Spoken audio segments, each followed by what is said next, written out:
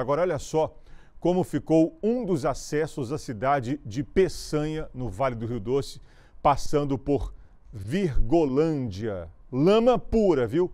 Se o motorista do ônibus que faz o transporte intermunicipal teve dificuldades de avançar pelo trecho, imagina quem dirige algum veículo menor. Vai passar uma imagem, olha só, escute o ronco do motor. O motorista acelera, mas o peso o peso é demais para conseguir vencer a estrada do Morro do Colo, que ficou cheia de lama. Olha só, o ônibus tentando subir, mas não teve jeito não, viu? O coletivo teve que ser socorrido e puxado por um trator. Essa é uma da estradas de acesso que liga a cidade de Peçanha à cidade de Virgolândia. Olha que a chuva fez com essa estrada aí. Intransitável.